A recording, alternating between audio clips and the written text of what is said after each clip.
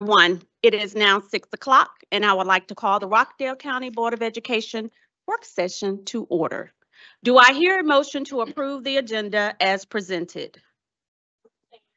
Second, Janie Jones. Thank you. A motion to approve the agenda has been made by Sandra Jackson-Lett and a second by Ms. Jones. Is there any discussion? All in favor? Motion carries. We will now recognize visitors who would like to address the board. Good evening, Ms. Tina Hobbs. Come forward, please. This is the time when we all allow citizens to three minutes to address the board. Please feel free to submit any documents to the board. We do not normally address your concerns tonight, but we ask the administration to address your concerns and provide you with an appropriate response. If your topic involves a personnel matter, or if you contend that your legal rights have been violated, we have specific grievances procedures for the matters. Res- respectfully ask that you refrain from making threats, using obscene or profane language, making slanderous remarks, or engaging in behavior that disrupts the decorum of the meeting. I would like to welcome you.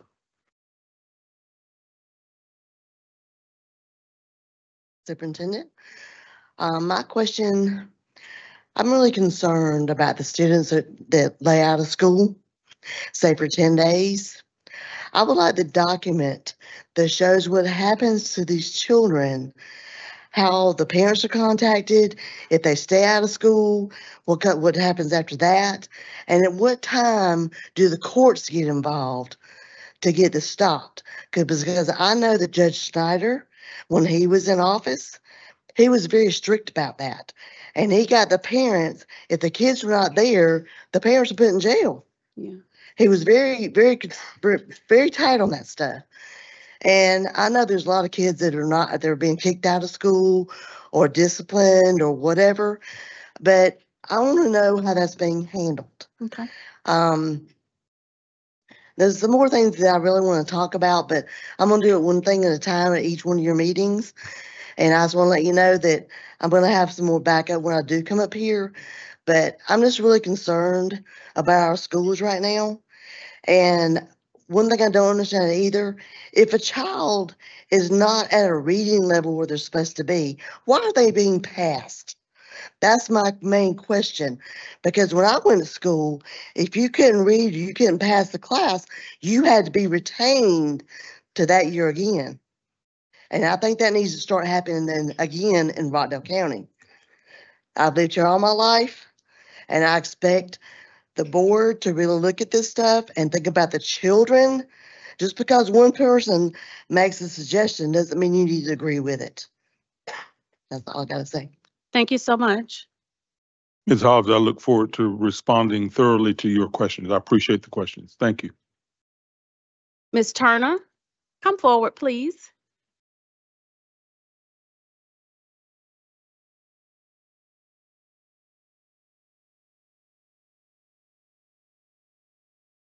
Welcome.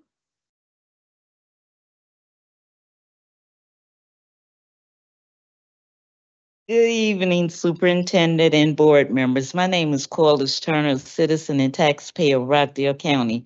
After much consideration of the superintendent's contract extension, new vehicle and pay increase while having failing students for many years and with uh, no plan to help those students to get to grade level, increasing the school overall performance. This both harms the students and the community. There's uh, plenty of development that are not being sold. One developer has stopped his, stopped this building because the houses, the townhouses aren't selling. And I'm sure that's because of interest rate along with uh, school performance.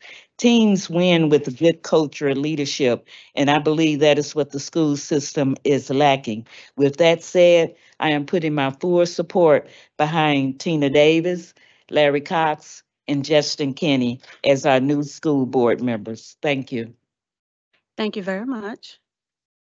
Mr. Larry Cox, would you please come forward?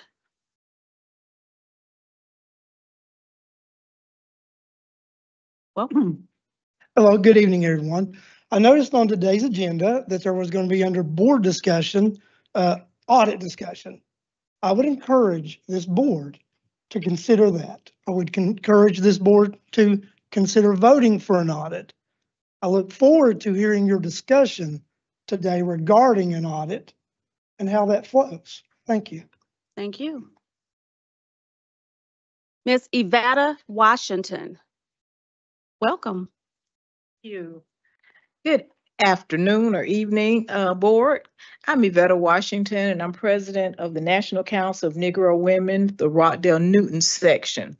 I'm here tonight to make you aware of our scholarships.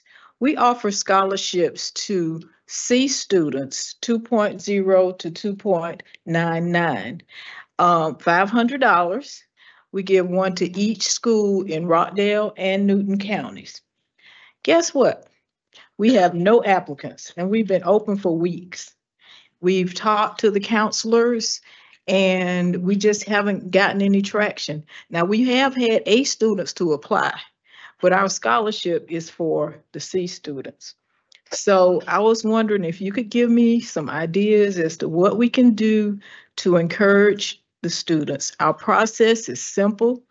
Um, other than pertinent information, we ask two questions. One question is, why should you be chosen as the 2024 NCNW scholarship recipient? The other, how will receiving the scholarship help your academic journey?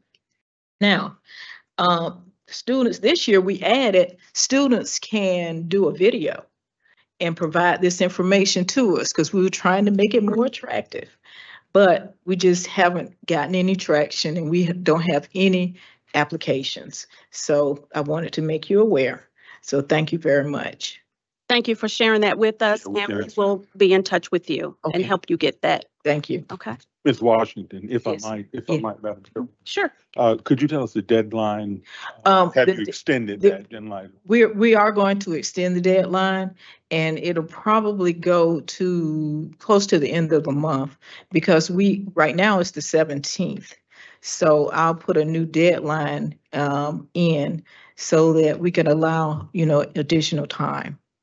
Thank you. Okay, Thank you. And I do have, uh, I've shared the um, application with Ms. Ball. Okay, And uh, so, thank you. Thank you. thanks. Well, all right. Thank you, visitors, for your comments. Someone should be in touch with you soon. The, um. Madam Chairwoman, if I might, uh, it, I do notice on one, at least one card, there's not information uh, for follow-up such as phone number or email. So I would just say that if you wish to have follow-up, please uh, uh, share that information. If not, you, uh, uh, you apparently just, you wanted to share the information, but just know that, that we do have the section clearly indicated on the card to put contact information. Thank you. Do I know how to contact you, Ms. Ms. Turner, I, right? right. all right, thank you, Dr. Oatts. The next item on the agenda is the superintendent's cabinet updates. Dr. Oatts, please introduce your cabinet and provide your update. Thank you, Madam Chairwoman, Vice uh, Chairwoman Duncan, and our distinguished board members, executive and senior cabinet members, uh, and our uh, guests, our citizens. Uh, We do have several uh, combination action items and/or presentations tonight, and we'll begin with our Advanced Academics Department. And uh, so I'll yield to these ladies at this time.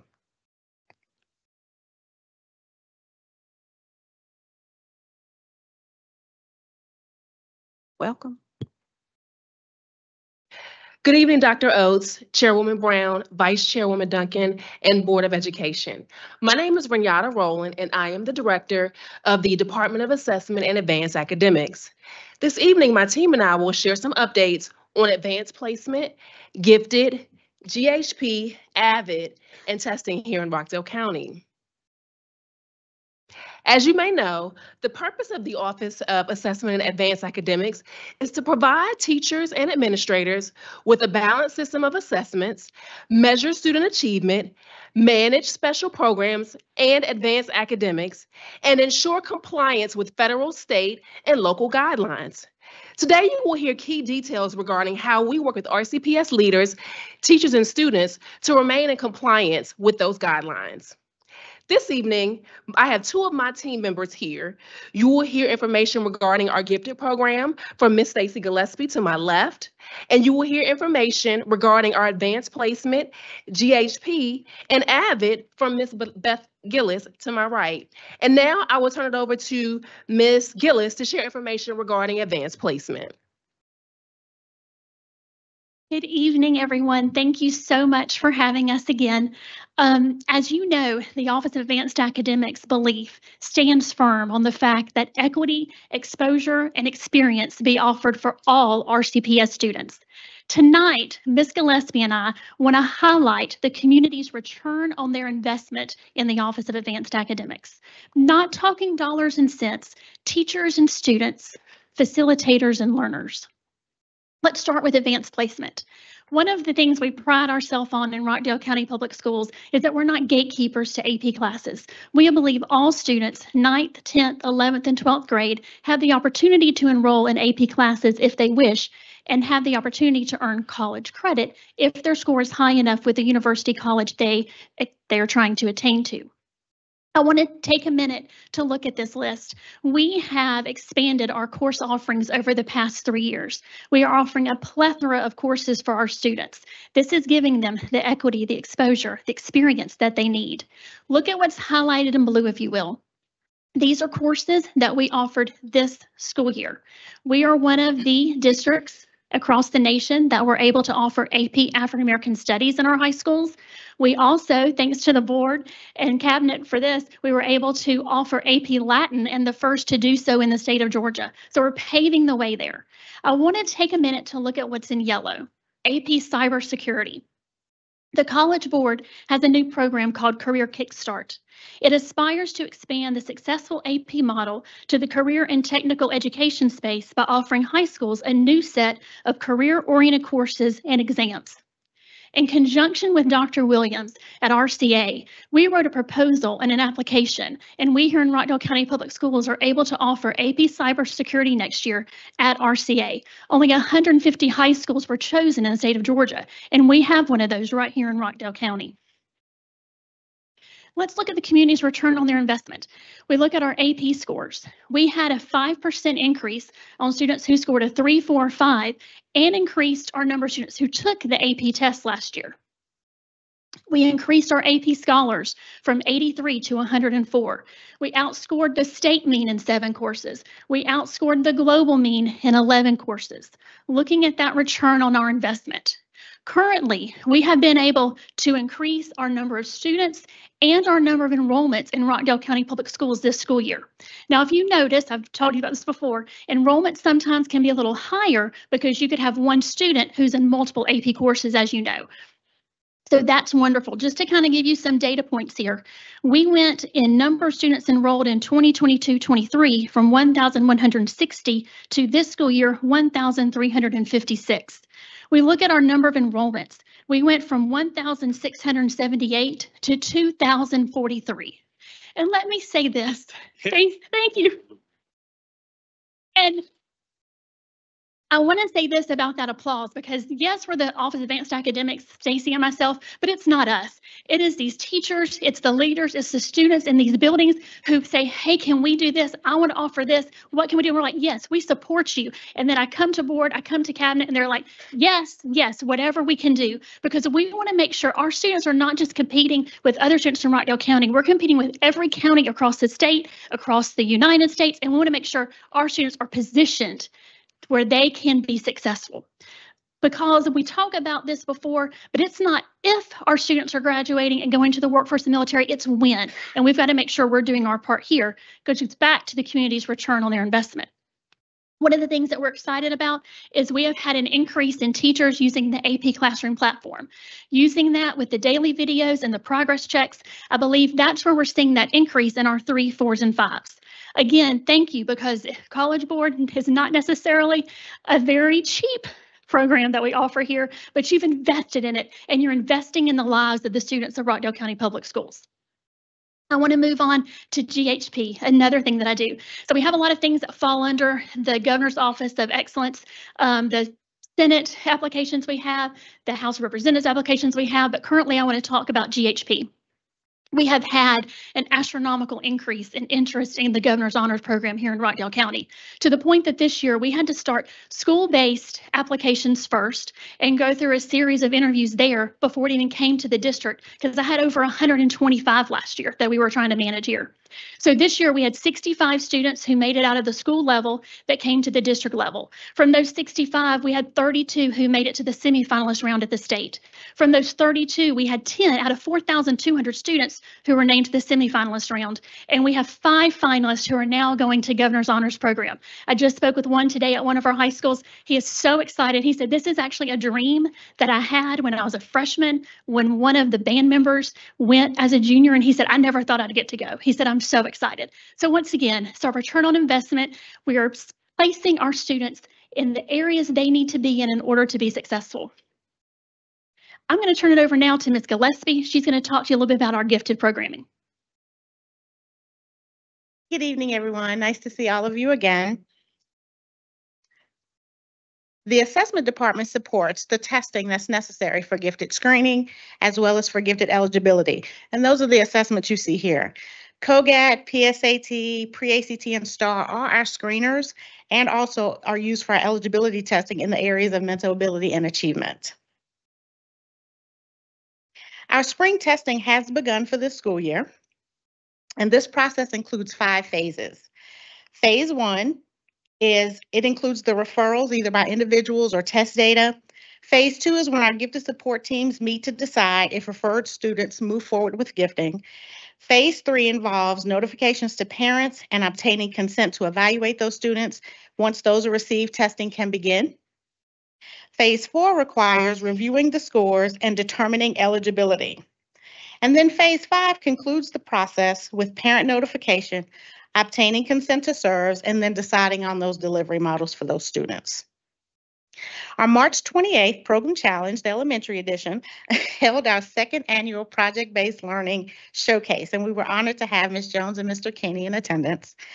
Uh, the students presented their projects with so much enthusiasm, and the parents enjoyed seeing not only their students present their projects, but also what elementary students across the district were learning and presenting as well. Today, our gifted students make up 11.1% of our entire student population.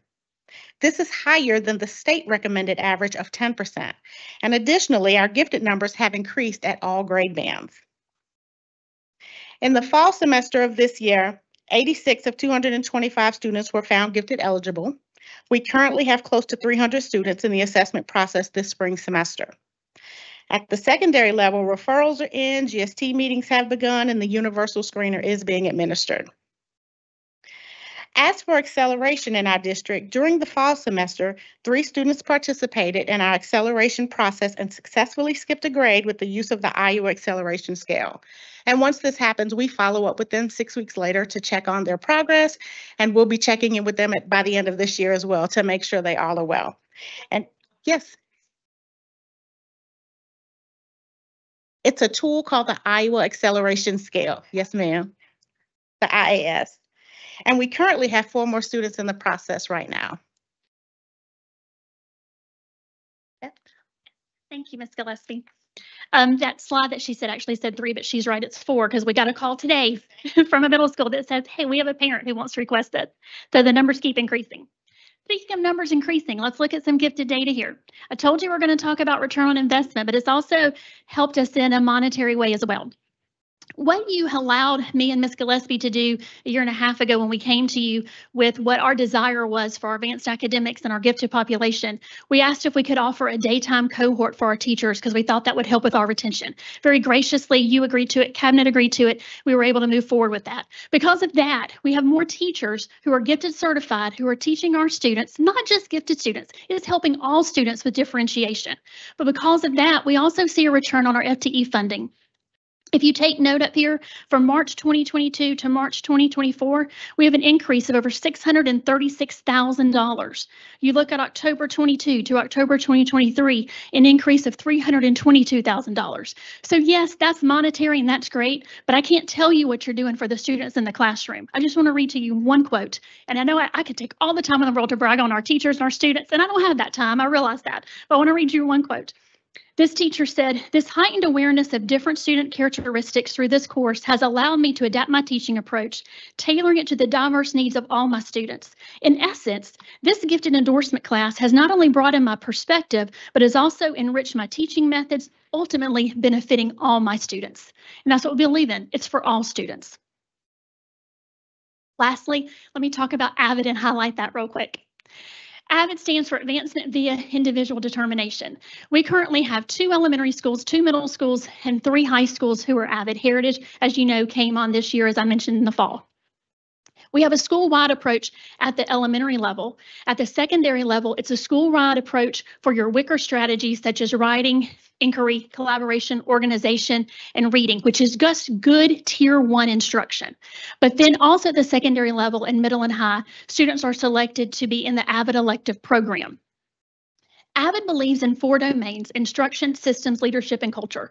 What is so wonderful about AVID is that it directly correlates to what we ask our administrators to do in schools. They have to write their school improvement plans, their CNA Title I plans, and that directly correlates with AVID. Some of the things we've been doing this year in AVID, we went to AVID Summer Institute in June. We took about 42 people to that um, in June in Orlando. I've offered AVID professional development sessions in July, September, and October for not just AVID teachers, but also teachers of the general education population as well came to that. And our AVID team members at the schools attended AVID showcases at various districts in the state of Georgia in the fall and in the spring. So that's one thing that we believe with AVID too. It's continuous professional development. Again, it's the return on the community's investment. We're investing in students, we're investing in teachers couple of highlights I have for AVID real quick, and I please encourage you to please go to these schools, see what they're doing. I don't have all night like I wish I did to tell you everything, but Salem just recently went to Georgia State in February. They're going to Kennesaw State in March. Heritage is going to Georgia Gwinnett College on April 19th. Heritage just did a community service project with Hightower Trail, who is not an AVID elementary school, but some of the students there said, what is this AVID thing? Um, so that's just gaining awareness there. Rockdale County High School had a college showcase they did in their auditorium. The students themselves at Rockdale in the AVID program went out and researched colleges, wrote to the different colleges admissions boards, got all types of paraphernalia swag, brought it back to their school and did a college showcase for 9th, 10th, and 11th graders at Rockdale County High School. So it's just some of the ways that we're highlighting not if but when. Our students are going to college, they are going to career, they are going to military, they are going to the workforce. How are we going to prepare them? The next steps we're doing. We have a lot going on toward the end of the year. I have AP exams coming up in May. We'll be offering the Lead Academy again in June. We'll probably be sending at least 15 to 20 teachers to Advanced Placement Summer Institute to get professional development for all the courses that we offer. We're continuing um, our gifted process right now that we're going through, getting our spring referrals done. We'll be um, making sure that we're continually promoting RCPS students and all things with the Governor's Office Student Achievement. We are wrapping up AVID CCIs and their certification processes, and we will be attending AVID Summer Institute again this June with various team members from schools around here. I know that's a lot. I just want to thank you because we have a lot to say, a lot to highlight. And once again, let me add, it's not me and Ms. Gillespie, Ms. Rowland, Office of Advanced Academics, it's the schools, the leaders, the students, what they're doing that makes it possible for us to just come and highlight some of the great things here in RCPS. I'm going to turn it over now to Ms. Rowland. Thank you, Beth and Stacy, for that wealth of information. Now I'm going to share some information regarding Georgia milestones as we pre prepare for our spring administration. Students have been in school the whole school year working with teachers on standards and concepts. As we come to the end of the school year, we are now asking ourselves, how will we know if each student has learned? When Dr. Oatts came on board, he structured a balanced assessment system for RCPS to ensure that our students were learning. A balanced system of assessments include formative assessments created at the local level and summative assessments created at the state level. Throughout the school year, my department works closely with the curriculum department to create and administer assessments to students. These assessments provide valuable data for our schools to determine how well, uh, how well our students are doing with the information they're being taught by our teachers. At the end of the school year, our students take the milestones to determine how well they learned and retained that information. As I mentioned in previous slides, the milestones provide information on how well each student has mastered their appropriate grade level content standards in four categories, English, math, science, and social studies. The milestones are not just for our school buildings. Not only do milestones provide information to parents, educators, and the public, they also serve as a measurement of the quality of instructional, educational instructional opportunities our students have access to. And lastly, it serves as the key component to the Georgia Department of Education's accountability system.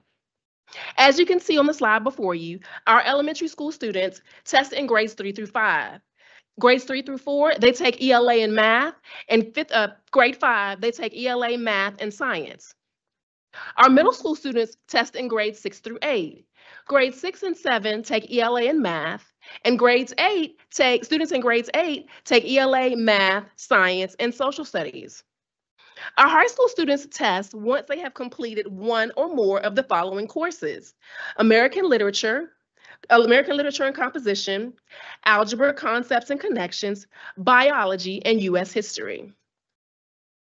This year, we do not anticipate any flexibility waivers.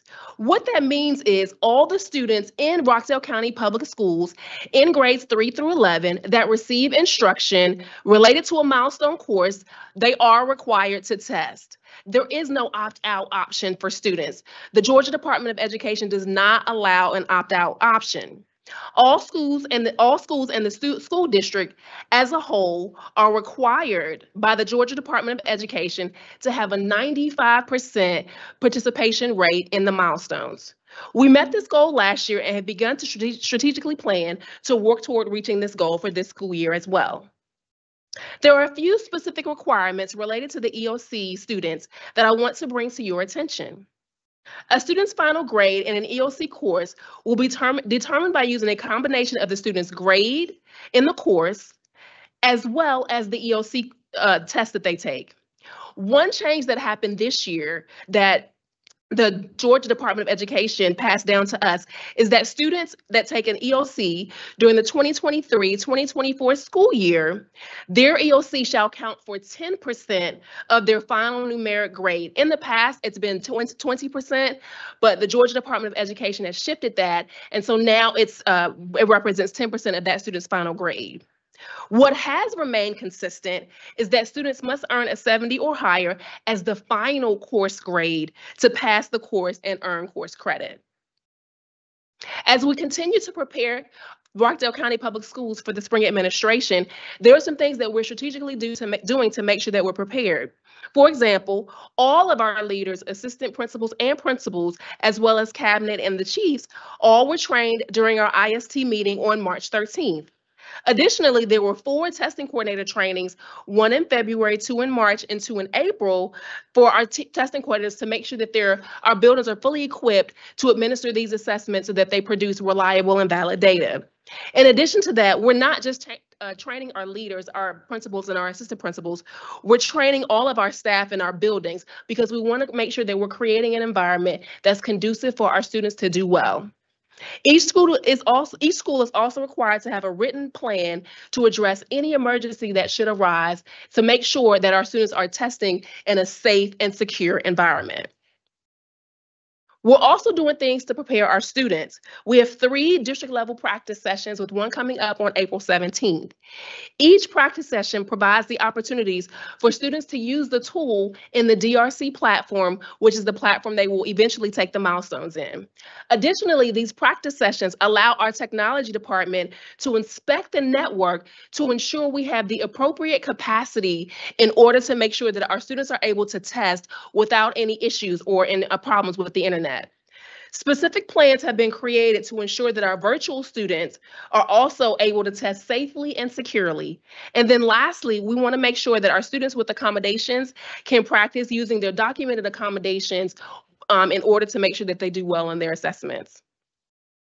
It's extremely important for our students to have this experience with the DRC platform, even if they tested in the past, because the Department of Education has changed some things within the platform. So on the screen in front of you, you guys can see a version on the left-hand side of what they've seen in the past when they've tested, and then you will now see on the right-hand side the enhanced student experience, which is the new, what they'll see, the new screen that they'll see when they test. And so I have a few slides that you can see, um, this slide identifies the different accessibility tools and features that students now have access to that have been enhanced for students to be able to use while they're testing. Additionally, they have a visual um, sign language uh, interpreter for those students that do have issues and they're able to use the VSL feature to be able to communicate with the screen. This is our Georgia Milestone Spring Administration schedule. And so we have two weeks beginning on April 29th where our tests will be administered in our buildings. And then we also have a makeup period. The last thing I'll discuss um, is the score notification. As our students test, their scores are populated within the DRC platform, and all scores are housed within that particular platform until the t- students are completely finished testing. Once the students are done testing, the Georgia Department of Education, they verify that those scores are valuable, valid and reliable, and then they approve the scores while the, D, the DOE is working through approving those scores, those scores are embargoed until they're officially released. There is no official release date. We wait for the Georgia Department of Education to let us know that the embargo has been lifted, and then we're able to share that information. And so that is all I have to share with you guys regarding the Georgia milestones. I do have one action item I want to present before you all, and then we will stand um, before you for questions. And so with the action item, we have a recommendation the superintendent will Rockdale County Board of Education approved the renewal of the SchoolNet platform and the assessment bank in the amount of $122,263.80 to provide formative assessments to Rockdale County Public School students. This renewal is contingent upon the approval of the contract by the superintendent and general counsel. What's the rationale for this? The district's 10-year access to the platform ended in June of 2022. Each year, we need to renew the contract in order to have access to the platform and the assessment bank, which holds the items that we use in order to assess our students to make sure that they're learning or if we need to go back and revisit some of the things that they may not have grasped. Um, and so that's what we use the platform for. And so it's like a, a computer uh, program that we use that has assessment items, and then we push out items. Uh, we work with the curriculum department in order to push out items to the schools. The financial impact, as I stated before, is $122,263.80 that will come from general funds. And so that is all we have for you guys right now from the Department of Assessment and Advanced Academics. And so I will stop talking and stand before you guys with any questions that you may have. Do we have any questions? Board members? Okay, go ahead.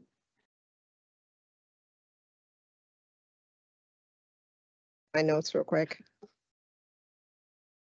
The children that are taking the Iowa testing and being um push um grade forward, skip a grade, we benefited from the program. So I'm I'm I'm glad to see that we're doing that for students. But how are we addressing um the social emotional part of um kids that are they're academically sound, but are they mature enough to actually go to the next grade level and um and be able to interact um in a positive way with their peers? I'm glad you asked that. So the Iowa Acceleration Scale actually has 10 sections, Okay. and each section addresses something different. And there's a whole section that addresses that with questions, and they're kind of evaluated. We have a team, a full care team that completes that assessment that includes their parents. Um, and one of the questions is, how does the child feel about acceleration? Mm. Um, they're also evaluated from their teachers about their social emotional um, standpoint as far as how they get along with other students. That's all included in that scale.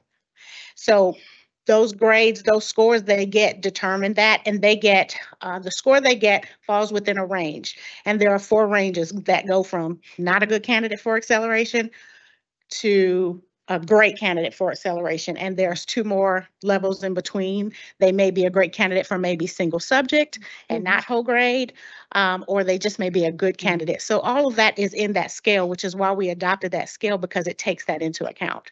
But um a part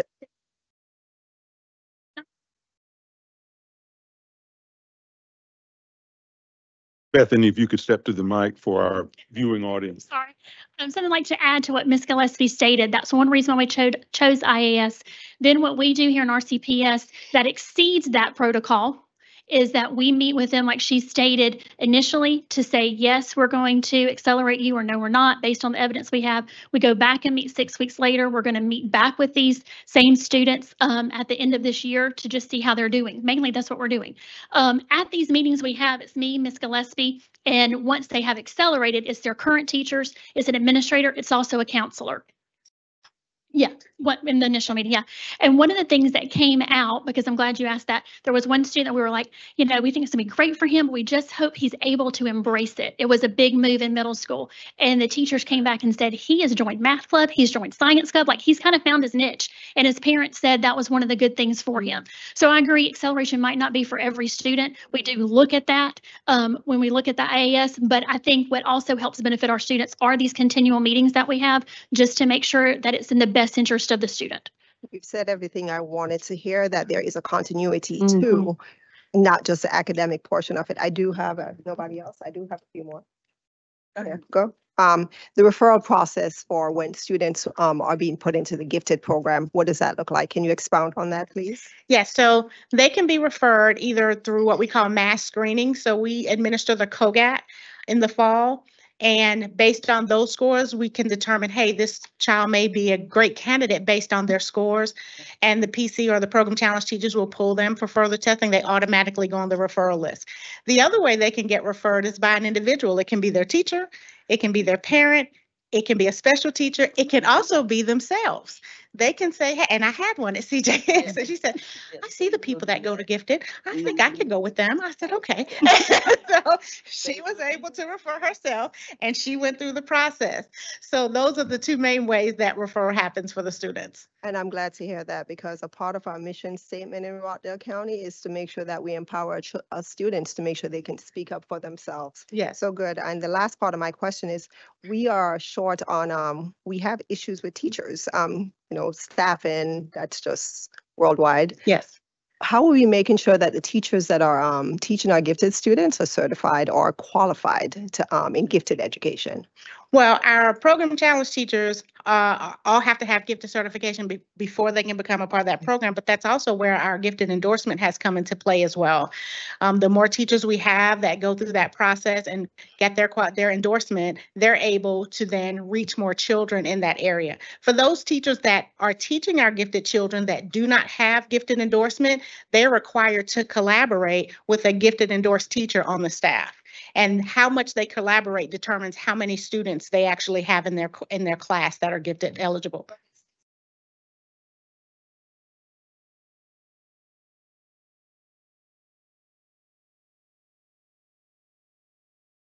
No. Right, so she's referring to like those, the, the program challenge teacher at the elementary school does. To expand upon that, uh, me and Ms. Gillespie, one of the reasons why we see this FTE increase is because of, like she said, the gift and endorsement, but also Ms. Gillespie and I sat down with, um, 10 out of 11 elementary school principals, sat down with them and looked at their master schedule and said, what's, number one, what's in the best interest of kids? And number, number number two, let's make sure our service model gives us our biggest bang for our buck with FTE funding. But kid, but kids come first. And so that's what we did. We sat down with 10 of them and we're able to do that to ensure that the gifted student or the high achiever was being taught on a general ed, regular ed, the teacher of record in Infinite Campus certified teacher. Um, at the secondary level, that's the same model we follow with middle school. Let's talk about high school. For high school, um, we have, we have two sections. If you're an Infinite Campus, you'll have a dot two section for gifted and then a regular ed session for your high achievers. Those teachers now that teach AP, we have a process they have to go through. You either have to be in my daytime gift endorsement class or you have to complete a 10-hour clock course with me. So let me say, I could probably fill up several cohorts of secondary gifted um, teachers, but we don't have that, that resource at the moment. But so what we offer is on those professional learning days is they take a class with me and it's a gifted characteristics identification course differentiation in order to teach that AP class, as well as they have to have that AP certification by College Board.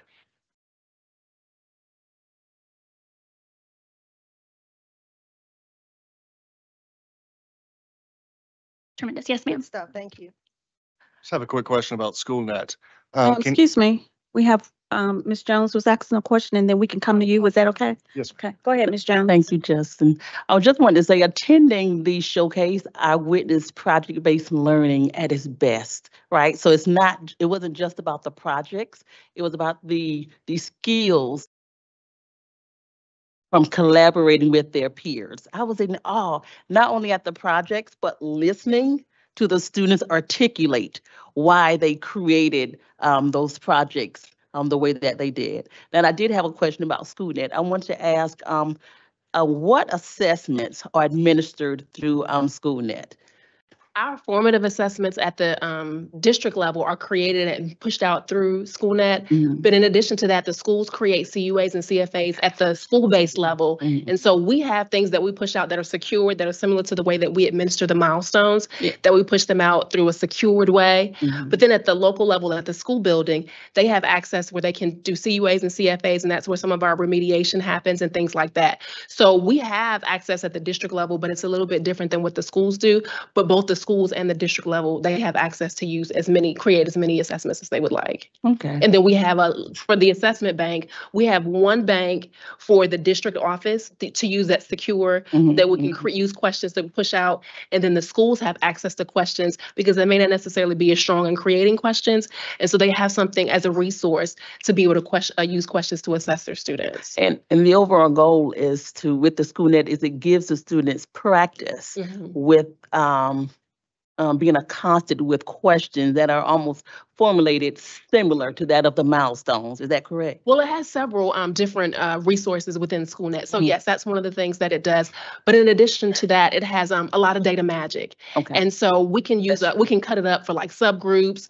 Um, you can, there's so much, there's a wealth of data. If you ever look at just even the main page, it gives you a lot of information. And so it gives you information as just a teacher in the classroom about your students and it tracks, you can track like one particular standard and how they did in January versus how they did in March with a question that is similar, but not the same. But as an administrator, you can track a whole grade level. Mhm. So it's just different magic that you can do within the platform um, for them to be able to try to make predictions about instruction and remediation for the students. Yes, I love SchoolNet.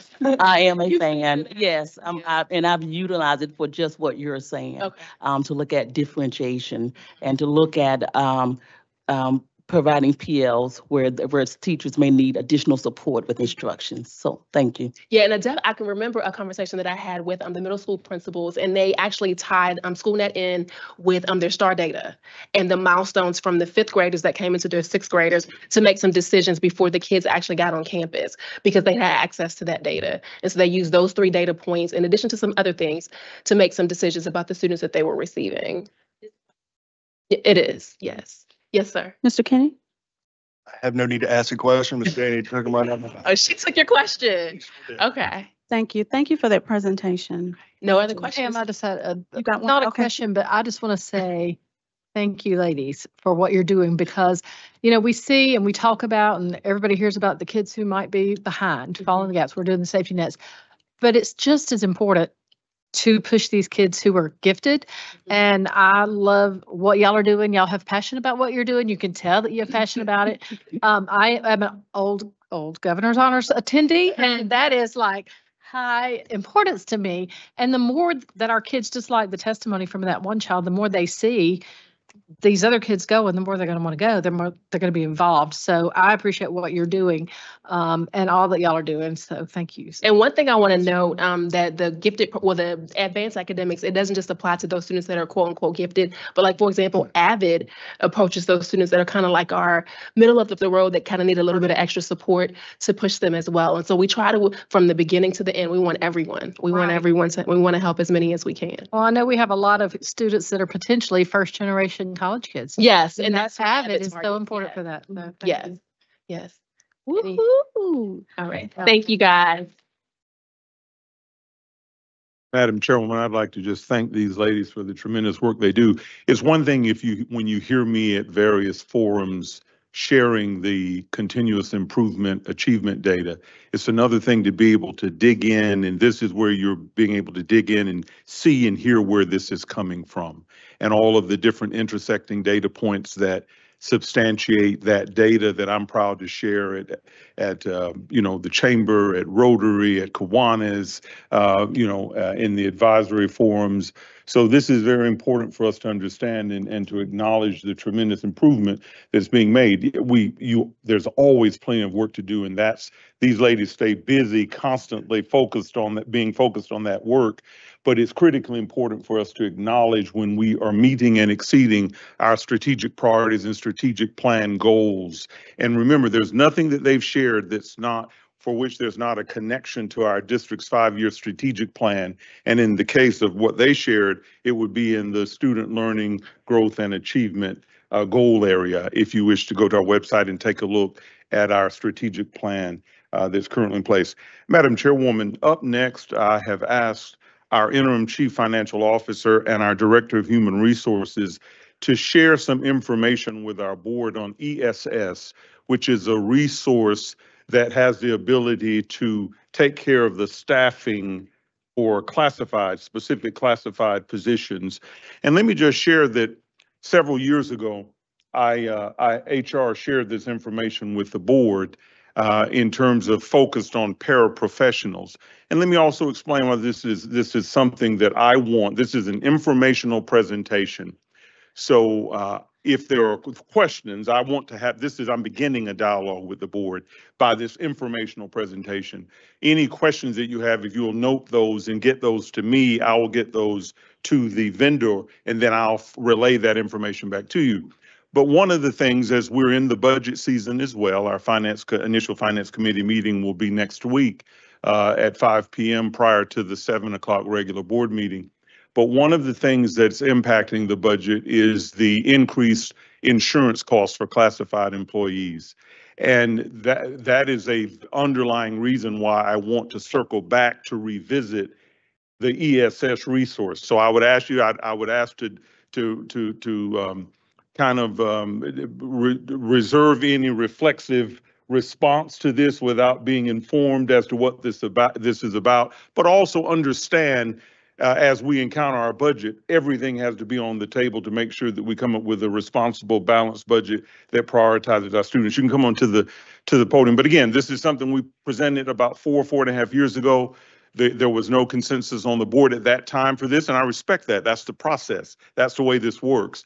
And so we moved on, but I think it's very timely for us to revisit this because since that time, there are even more school districts that are leveraging ESS for specific, uh, and in some cases, multiple classified employee categories, ladies. If I may interrupt before you Mhm. start, just for clarity's sake, this is not a proposed action item. No, it's not an action item, not an action item. And that's an important point, Justin. I appreciate you sharing. This is an informational presentation. Uh, we would have many other steps before we would get to an action item. This is the beginning of a conversation that I will continue with the board to see if we have consensus for how this might be beneficial or not for Rockdale County Public Schools. Well, Good evening, Madam Chair Brown, Vice Chair Duncan, board members and Superintendent Oatts. As Dr. Oatts mentioned, I'm Michelle Stevens, Director of Human Resources. And I'm Interim Chief Financial Officer Joycelyn Smith. So tonight we're bringing you some information that we hope could benefit us during the budget process. And I'm going to start with a little background information. Okay, so personnel is currently 88% of our budget. And as Dr. Oatts mentioned, the rising healthcare costs have had a heavy financial burden on school districts. So one solution we were looking at is contracting personnel, specifically paraprofessionals, through an outside staffing company. We looked at the two most um, prominent ones in Georgia, which are ESS, Educational Staffing Solutions, and Kelly Staffing. Kelly's um, focus is primarily on substitute teachers, and so that's why tonight we're talking about ESS, Educational Staffing Services. Currently, we have 311 pairs. Um, 189 of those utilize health benefits through the school district, health insurance, so that's 61% of them. If we were to go with this option that we're going to talk a little bit more about, the, we would use, the new pairs would be hired through the outside staffing agency and any existing paraprofessionals could opt in. It would not be required for those who are already working with us. So about ESS, they are um, based in Knoxville, Tennessee. And you can see on this map here, the dark blue areas, they are serving over a thousand school districts in the US. They have regional leadership offices. The regional one for us is in Athens. And if we were to utilize them, there would be a, a in-district person housed with us to help with, um, staffing on a daily basis. These are the sixty districts that they're already partnered with. I think they're actually up to sixty-six now. And twenty-seven, well, twenty-three, I'm sorry, of those are doing the paraprofessional program that we are interested in. Um, Douglas and Oconee are the, the ones that are utilizing just ESS, just the para program, not the substitutes, because they do that as well.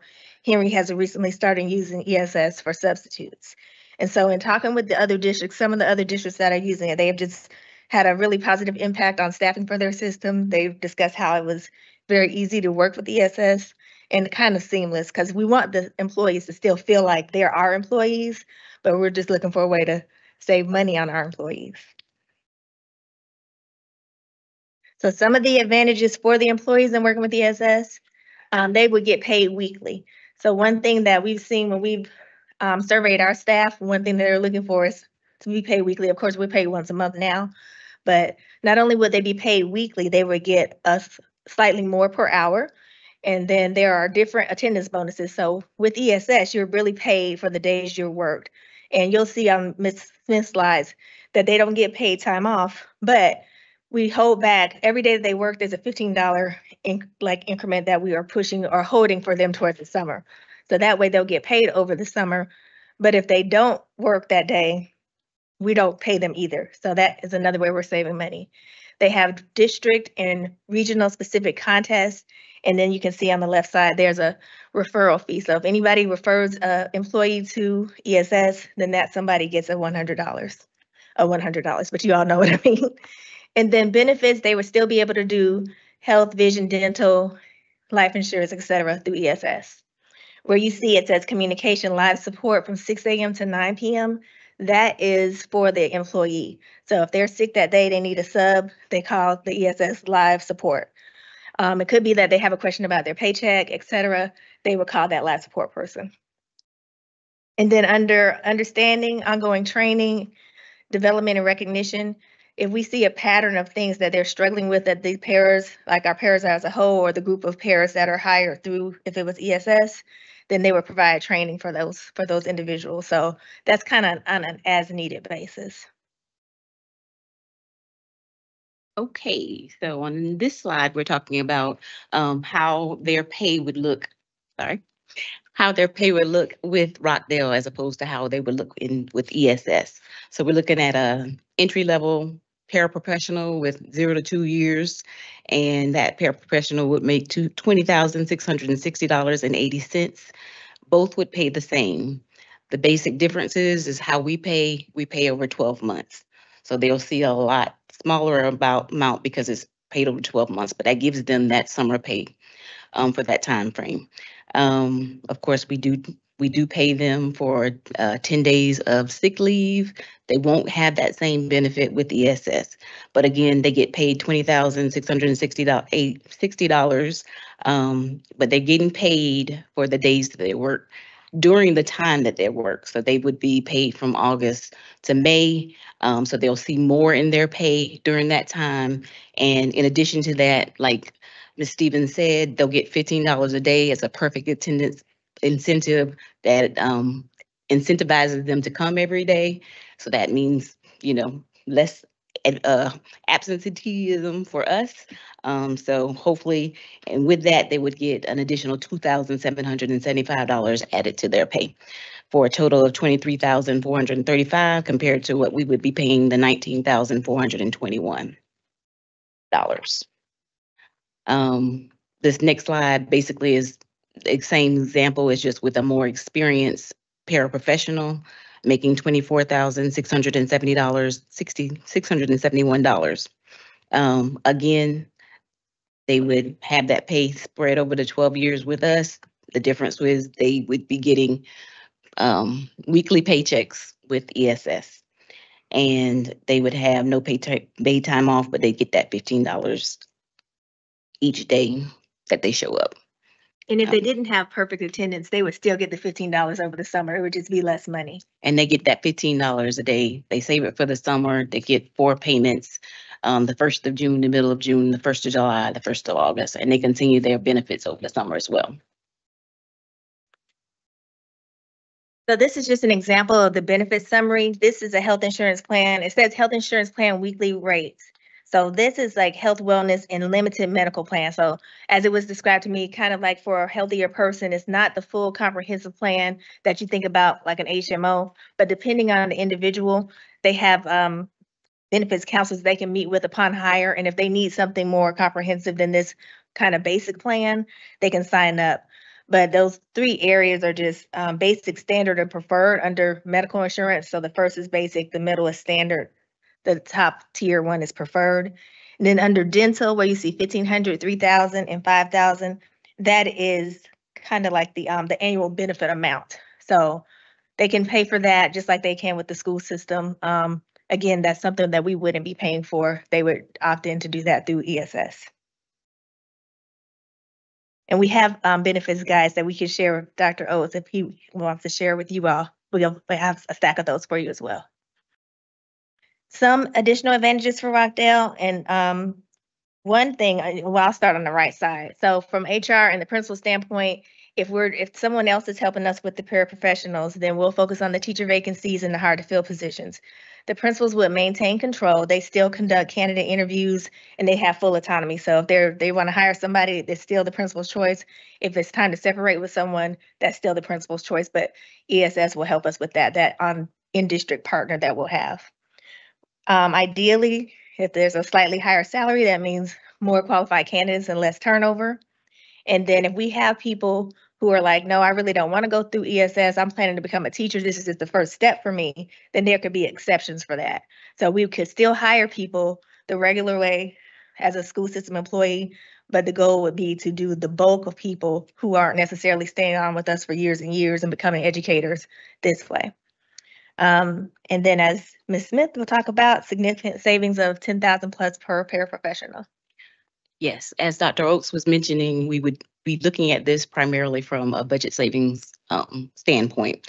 Um, so if you see that twenty thousand dollar parapro in the end could cost us forty-four thousand dollars. We've had significant increases in our health insurance, um, TRS, all of that. The cost to employ someone that takes state health and and obviously we had to do the TRS exceeds their, can exceed their salary. And so that's why we consider this a, a good cost savings for us. We pay forty-four thousand, ESS, we pay them thirty thousand, and our savings could be thirteen point seven thousand dollars from that one employee. Um, again, like I said, the reason why we would really consider this is we've had increasing employer cost. Um, our TRS has gone in the last five years from nineteen point oh six to this coming year, it'll be twenty point seven eight percent. State health, um, has gone from eleven thousand three hundred and forty thousand dollars per year to next year, it'll be seven, seventeen thousand four hundred and twenty dollars per person for the year. That's a significant increase. In the last three years, we've seen a almost fifty-four percent increase in our state health benefit costs. Okay. So um, thank you all very much for your consideration. As Dr. Oatts mentioned in the opening, if you have questions, if you'll please let them know, we'll research that for you and get your answers so that you can make an informed decision. Indeed, and let me, let me thank you ladies for this, and let me just say again to the board and to our public, this is a directive that I uh, assigned to HR uh, and to our finance division, because we have to have all things on the table as we're moving into our budget season. And again, I think it's not a stretch to talk about where, how we if, if, if in fact it had been adopted previously, and this is not, I, I respect the decision that was made, but, I'm just saying as a point of making, we've been in a better position now as we confront these increased, uh, health, uh, insurance costs. But, um, I was talking to Dr. Jason Branch, who's the superintendent, uh, of Oconee County Schools and an old colleague of mine from 25 years ago when we were working in uh, Glynn County in Brunswick, Georgia. But he's one of the school districts who uh, actually uses, utilizes it for the paraprofessionals, and he talked to me. I just got back a couple hours ago from Savannah, attending the annual uh, Georgia School Superintendents Association's uh, um, uh, Spring Bootstrap Conference, and he was there, and he was talking to me about how beneficial. He said, "Hey, I understand that you're at least going to consider," and he talked and shared more information. So again, this was an informational presentation. Would you do me a favor, ladies, and just introduce the individuals who are here, who are with ESS. They're, they're not to, they're not here to make any comments, but they're going to be working through this process. And if there's consensus on this, they will be back joining these ladies to share and engage with you and answer questions. This is Vice President of ESS, and with her is Scott Smith. He's the benefits guru for, for ESS as well. So they came to support us. this Indeed. evening. So I'll ask the board members to direct any questions just on the, that they, that have arisen on the basis of this initial informational presentation. I will get those answered and get it back to the board, and then I'll be working over the next uh, few weeks to see if there's consensus for more information, right? For more information. We're not at an action item standpoint. We wouldn't be there before there was some sort of consensus, if there's a consensus for looking into this. But again, really, the reasons are not different on April the 11th, 2024 than they were in 2020 when I initially pushed, uh, had this to be looked at. It's for cost savings because benefits have been increasing consistently. And as you said, the benefits exceed the salary in terms of what we're on the hook for. And uh, so I thank you so much. I appreciate Dr. Noakes, I have a question. Do I understand you to say there's going to be another presentation or we sending you questions and you're going to email those questions to us? Yes, both. Both. If you have initial questions that have been I have prompted by, questions. yes, that have been prompted About by the 12 of them. presentation, yes, share those with me and I'll get them to you and get the answers back. But there will be future presentations, in-depth presentations where you can engage with the vendors and with our staff as well. Okay? And also small group board briefings, we can leverage that as well to have further conversation. But again, this is an informational presentation to prompt additional, if there are additional questions, all right?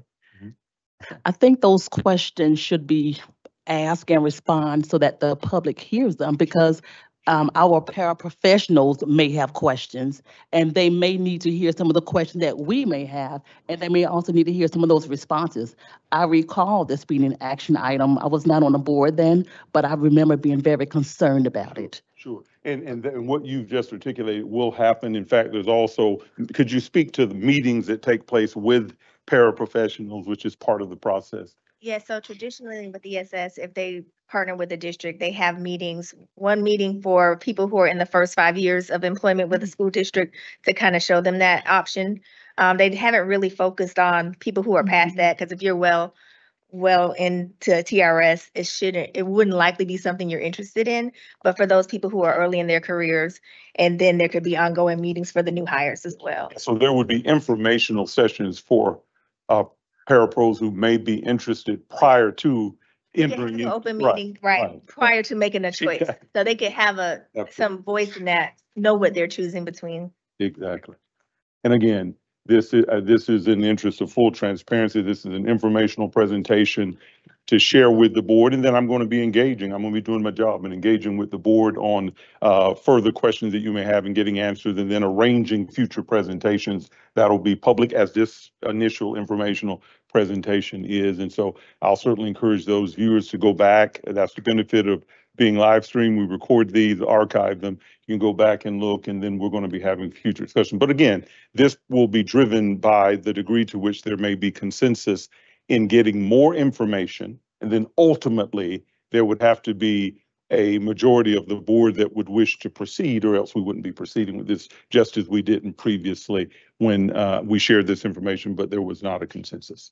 No Okay. que- no question either, but I do, I do agree with Janie that even if we're not asking the questions up front where everybody's hearing us, is that in your presentations and in your, um, you know, research on benefits and anything, that we need to hear those questions that are asked in pri- private Absolutely. answered in public. So it is, um, like everybody's hearing the same answers, but it's not a long drawn out kind of meeting, but that when we present, we do give the public all the information. Absolutely. The public and, and importantly, paraprofessionals as well. Ex- That's what you, and so we would, we would also send the, these answers and responses to the, our paraprofessionals as well. So, but thank, I appreciate it. Thank you so much. Duly noted. Thank you all. Absolutely. Thank you Thank very you. much.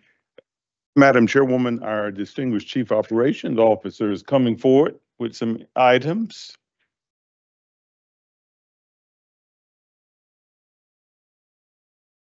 Limping there. Good evening. Madam Chair Brown, Vice Chair Duncan, board members, Superintendent Dr. Oatts. I have two action items. The first one is the uh, facilities cooling tower replacements at five of our schools. The superintendent will recommend that the Rockdale Board of Education approve Mechanical Services, Inc. as the contractor choice from bids submitted March 21st the amount of $532,966 to replace five cooling towers. Those will be at Conyers Middle School, Edwards Middle School, Barksdale, Flat Shoals, Honey Creek Elementary School. So this contract is contingent upon the approval of the superintendent and general counsel. The reason behind this is our existing towers are over 25 years old, deteriorating quickly, operationally inefficient, and critically, critical replacement parts are becoming non-existent for us to get our hands on. So we've got to get moving on those this summer. The replacement scope of the work will include replacing the towers, pumps, heat exchangers, associated piping, and electrical com- components. Those will come from ESPLOST 5. The second one we have is the boiler replacement at Heritage High School. The superintendent will recommend that the Rockdale County Board of Education approve the selection of Strictly Mechanical as a contractor choice from bid submitted April 5th in the amount of $460,000 for the Heritage High School boiler replacement project.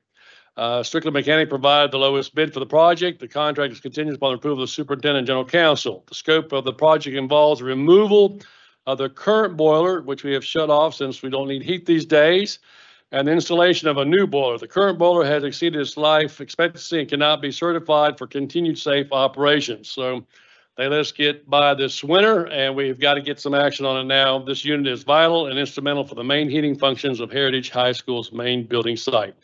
$460,000 from ESPLOST Five. And then just to share a few things with you that have been going on spring break. Obviously, we had an F2 tornado come through our community, unfortunately, and did a lot of damage for us. The damage was very minimal. We had some trees. That one's there by, is by my office. We lost several here, some smaller ones, smaller ones across the district.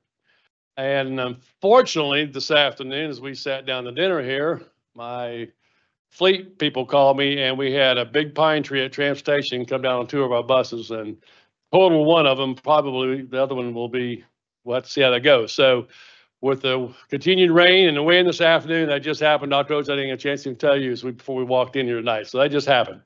Also, a lot of spring break work with uh, ABM getting ourselves ahead for the summer. Summer school's slated to start uh, June the 3rd, I believe it is. And so as we go into summer school in June, it minimizes the time we have in the building to clean it. So we started some work during spring break. We have received six units of our DOE funded buses. This, uh, we have eight of the last group that we got from the 2022 funding. And one of them is still in production. The other one is supposed to be on its way, but we're glad those are getting back in, uh, in service. We also constructed a training door for the Conyers Police Department, equipment training.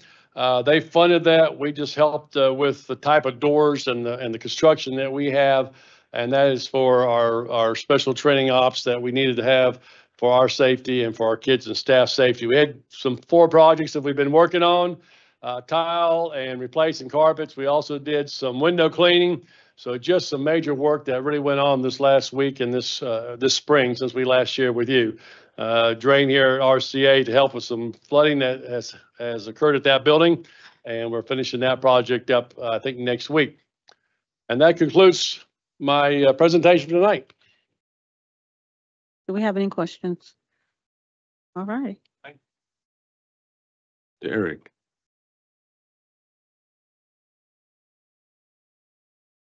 Good evening, Good evening. Chairwoman Brown, uh, Vice Chair Duncan, Dr. Oatts, board members. As we look to next year, uh, we prepare um, our, for our student laptops, um, the refresh cycle for them. Uh, We have a three-year refresh cycle. So next, or this coming up year will be our high school. uh, The following year will be middle school and then elementary, and then it'll continue that process. The student laptops are Dell laptops 3140s. Uh, These are rugged laptops meant for students. Um, They have a spill-proof keyboard. Uh, They have a touch screen with Windows 11 on them. um, And then they're fanless on the bottom, so students can actually put them on their laps so they don't overheat on their laps as well. Um, So they're very nice laptops for our students. And so tonight, uh, the superintendent will recommend the Rockdale Board of Education approve the purchase of 5,500 Dell laptop 3140 student laptops for $3,550,250 under state contract. This is the sustainment portion of our Learning Your Imagine program um, for our students' uh, laptops. Now, financial impact will be from ESPLOST 5. And that's all that I have. Any questions? Thank you. Thank you, Derek. And now we have our uh, financial report.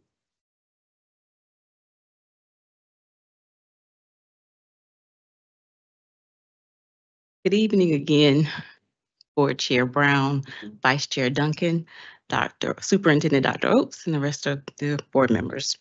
Tonight, I present the preliminary financial reports for the month of March. Um, March revenues were $10.4 million. The year-to-date revenue was $168.9 million, representing 84.4% of the budget. Compared to last year, which was at- also at $10.4 million for March, $152.6 million year-to-date, representing 84.3% of the budget. The expenditures this month were $17.3 million, $156.8 million year-to-date, representing 76.5% of the budget.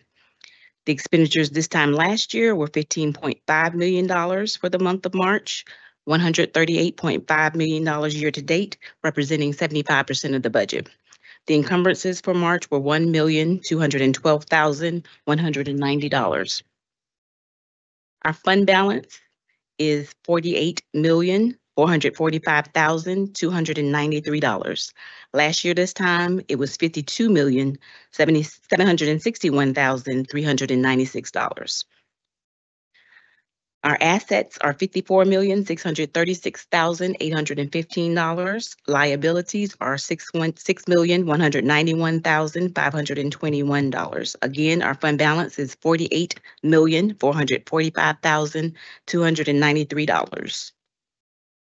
That concludes the preliminary for March. Okay, thank you. Any questions, board?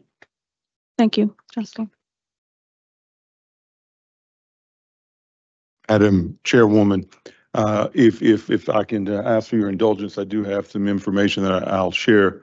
Um, the, and and initially it'll be just some announcements and information, but I'm happy to share uh, this message that Dr. Kirby Ming, our coordinator for fine arts, shared with me earlier. She said, "Good morning. I have good news. Rockdale County Public Schools has received the Best Communities for Music Education Award. Uh, and uh, this is a national award that's issued by uh, uh, the NAMM Foundation. And it, and in fact, in the email, it listed all of the recipients nationwide.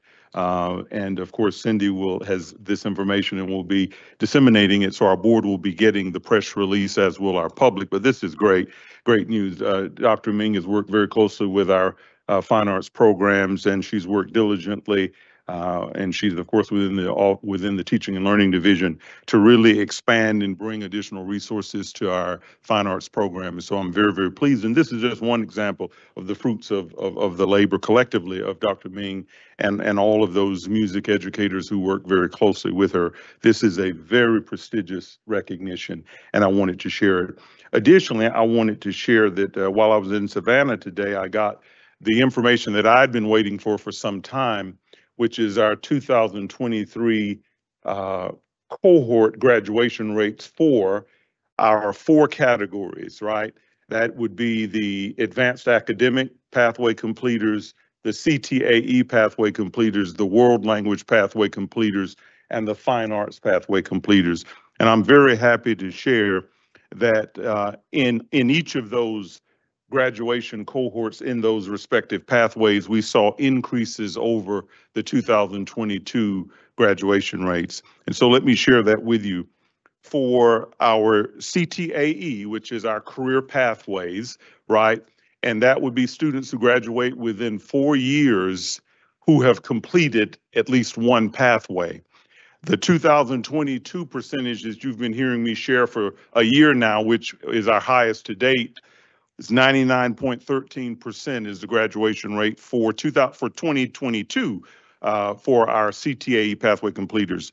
For 2023, now listen, it's difficult when you're that close to 100. It's not like you're going to see sweeping gains, but it's 99.36, right? Is our 2023, and that's an increase, and we're proud of that. And um, and and and sometimes people say, well, how do you get a 0.36 of a student? No, actually, when you're looking at the total number of students in the cohort versus those who complete pathways, you're going to end up with uh, percentages and fractions of percentages. And if you, depending on how you round it, we can round it to 99, right? Or we could not round it to 99.4 if you're, depending on where you're rounding it. But uh, it, it does, so this is exciting to, to be increasing there. And all the other indicators that we did see in terms of pathway completion pointed to a nominal increase in our 2023 CTAE graduation rate. Let's go to fine arts. And I think that's relevant because I just mentioned this national award that came for 2022, our fine arts uh, uh, graduation rate, four-year court graduation rate, those students who completed a fine arts pathway and, and graduated, uh, was 96.25% graduation rate in 2022. Our current 2023, it's 98.05%, and that's a that's a very sound improvement. And I think it's not a, a it's not a coincidence that we're seeing these national recognitions that we're getting for our music education program as an example, and we're seeing the benefits of uh, coordination, constant coordination, and working to get additional resources to our fine arts programming. Let's move to world languages, right, which is very important. That's a, that's it as part of our English language arts division. Dr. McRae uh, supervises that. Of course, for 2023, those students who completed a world language pathway, right? They completed that and they graduated. It was 98.82% was the graduation rate for 2022. For 2023, it's 99.27. So again, in all of them, we've seen increases. And I'll close with advanced academic pathway completers, Beth. Right, and Renyata, right, all you guys. Now listen, you heard all of the information uh, that they shared and Ms. Gillespie as well. You heard all of this information they shared earlier about the progress we've made, increase the gifted eligibility and student enrollment and, and gifted funding and increase in advanced placement and all of this stuff. And so 2022, the advanced academic pathway, those an advanced academic pathway means students have to take specific, very rigorous courses, advanced placement courses disproportionately at the high school level. And uh, and then you say how many, what percentage of those students graduate? Well, 99.48% graduated uh, in 2022. Now you know I said when you're that close to 100, you can't get, you're not going, you can't move that. Well, 2023, 100% of our students who completed the advanced academic pathway graduated. And let me share with you why this is important because we are in Metro RESA right? Which all the entire state, in terms of our school systems, are divided into regional educational service agencies. And we're Metro RESA, Metropolitan Atlanta Regional Educational Service Agency. There are 12 school districts that comprise Metro RESA. I don't typically do this, but I want, for the benefit and information of our public, I want you to know those districts. Rockdale County, Atlanta Public Schools, Clayton County, Cobb County, DeKalb County, City Schools of Decatur, Marietta City Schools, Douglas County, Fulton County, Buford City Schools, Gwinnett County, and Forsyth County. I'm proud to share with you, looking specifically at the advanced academic pathway graduation rate, Rockdale stood alone with only one other Metro RESA school district, Buford City Schools, as having 100% graduation rate for our advanced academic pathway students. And that's very, very important because there, listen, we are the second smallest county in the state of Georgia in terms of land mass, only behind Clarke County, Athens, Clarke.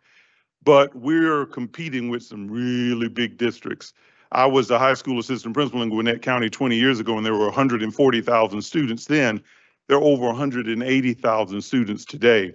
Uh, just as an example, 100,000 students in the cabin. Listen, they all did very, very well, right?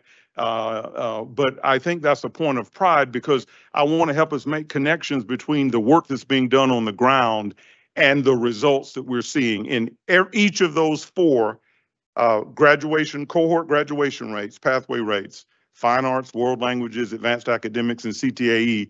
We've steadily increased over the last four years. And I'm very, very proud of that. I want to thank all of the, thank you ladies for all the work you do. But as you said earlier, this is about the teachers on the ground working. They're going and getting the training, extra training they need to really deliver rigorous curricular curriculum to these students, and we're seeing the results. So if, if, if we might, Madam Chairman, I think that warrants applause, don't you think? And then we don't want to forget about these parents that's trying to help. Absolutely. The parents that, the parents are critical because they advocate for their kids, but they also advocate for others, other people's children as well. Now, I do want to close if, if, uh, if you'll tee it up for me, Derek. And this is interesting because we did have, uh, I believe that, uh, uh, we had someone who talked about an audit. I believe it was Mr. Cox who shared about the audit. And so this is information that we've been having internally as a board as well.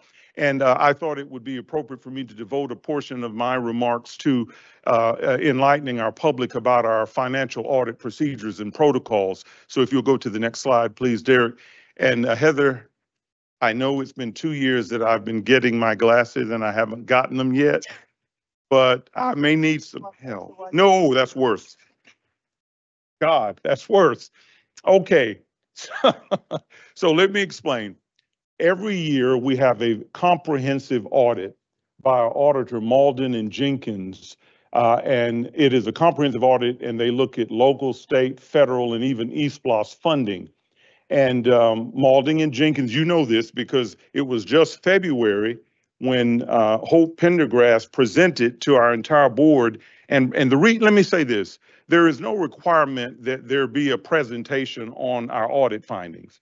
But I have, con- and I'm not suggesting that this wasn't the practice uh, prior to my tenure, because it probably was.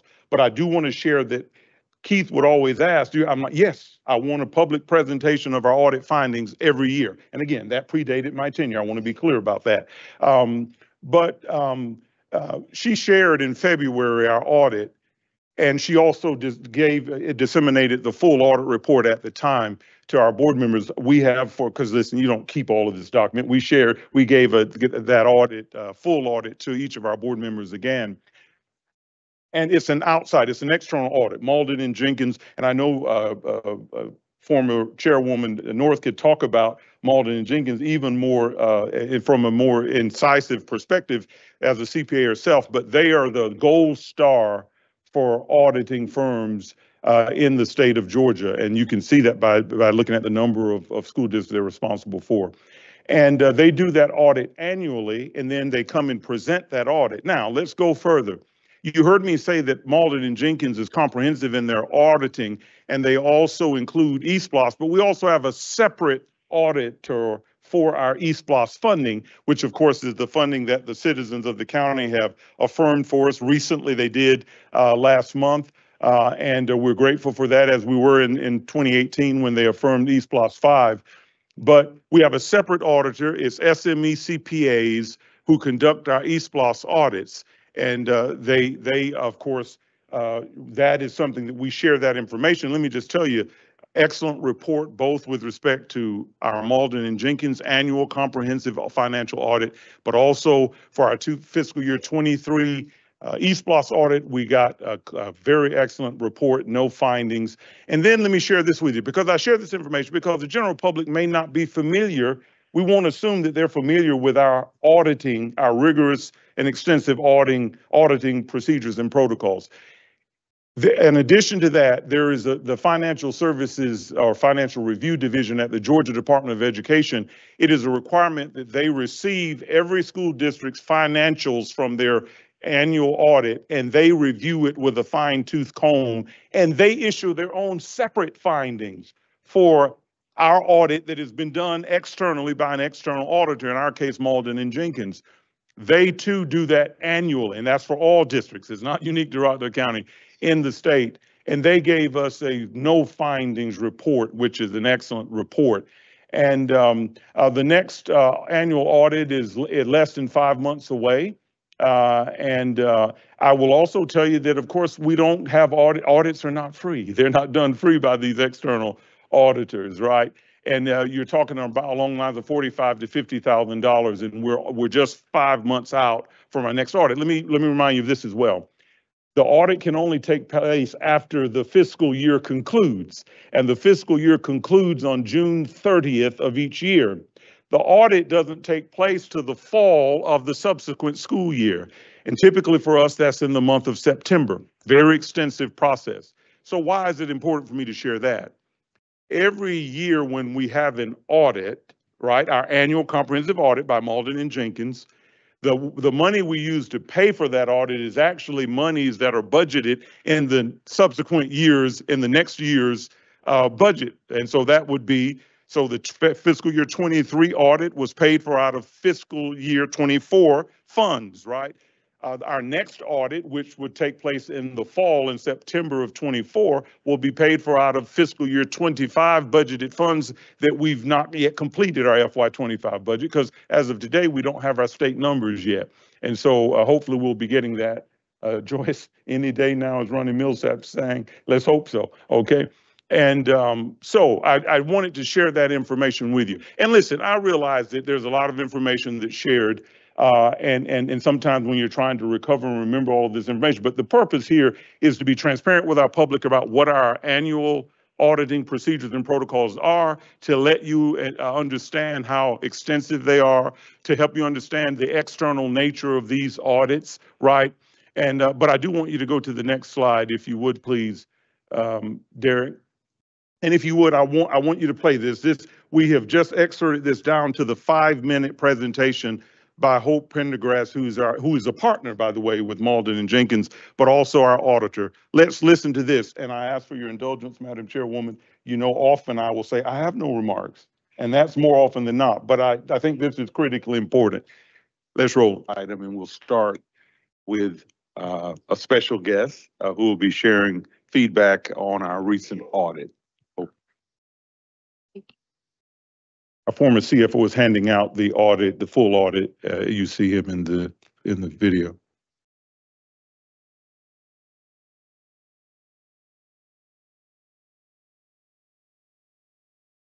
Good evening. Um, I appreciate the opportunity to come and speak to you all. My name is Hope Pendergrass. I'm a partner with Mauldin and Jenkins CPAs. We're the um, accounting firm that does your annual audit. I think we've done it for eight or nine years now. Um, and I, Keith has passed out to you our auditor's discussion and analysis. I'm not going to go through this whole document. I've just included it here for you. But we're just going to give a brief uh, a synopsis of the results of your FY23 audit, which was ended uh, 6/30/23. Um, when you think of your net position of your whole governmental entity, y'all were looking pretty strong at about 20 million.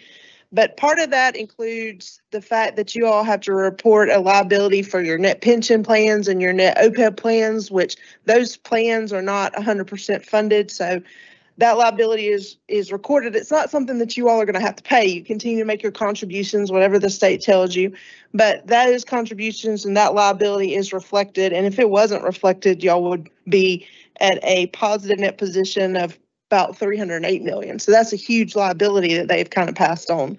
So we want to talk about the general fund because that's what y'all are kind of used to seeing. Your general fund at the end of the year had fund balance of about 39.2 million. And when we talk about the general fund, the way we report it in the audit, we include all your federal programs in there too. So that's not just your fund 100. And that fund balance was very liquid. You had um, cash and investments that exceeded that amount. So it's very liquid at that time. But you also need to think about the fact that that is one of your leanest times of year. You think about June, you finish the year, you're getting ready to do fall taxes, all that kind of stuff that's coming in. So that's a lean time of year. That represented about um, eight weeks of fund balance. So you think about eight weeks is not a lot of reserves to think of. But again, that was just as of one day in time. Um, y'all were right over about the fifteen percent rule. The state of Georgia says you should have about fifteen percent fund balance. When you look at that, you're thinking about your next year's expenditures. What are my total expenditures gonna be? We need to have fund balance of about fifteen percent. Y'all are right over that, so you're right in line with what the state expects. Um, and when you look at your budgeted numbers, y'all budgeted to, um, dip into your fund balance some for the year. Um, but you didn't dip into it as much as you anticipated that you would. So you had a positive variance on your budget of about one point two million. And I was looking at your FY twenty-four numbers. I noticed that y'all have budgeted, at least your original budget was to dip in about five million dollars for FY twenty-four. And I know y'all will be revisiting that again once you um, get some of your final projections from the state after they do their mid-year adjustment. Um, another thing that we do as part of the audit is we look at your uh, federal programs. You all received or expended about forty million dollars in federal funds last year. That's your ESSER, your Title I, your six B funds, special ed funds, all of that. We don't look at all of them. We do a risk-based approach where we just do a few programs. And this year we looked at your school nutrition program, your ESSER program, and your Title VI B program. That represented about twenty-nine point seven, not quite thirty million dollars that we looked at, uh, or about seventy-four percent. And we had no findings at all. So it's very, it's very easy when you have all these federal regulations, especially with some of all this COVID funding, you know, they're kind of building the regulations as they were passing out the money. So I just want to congratulate the, the board, the superintendent and the finance team on the fact that, you know, y'all are dotting all the i's and crossing all the t's. And not everybody Derek, is doing that. So I think you should be very proud. Pause it, Derek, if you would, please. Uh, again, I think this is critically important. This is the February audit, right? Uh, we should all be very happy that we're actually looking at the audit so that we can see the actual information and we understand what our auditing processes are.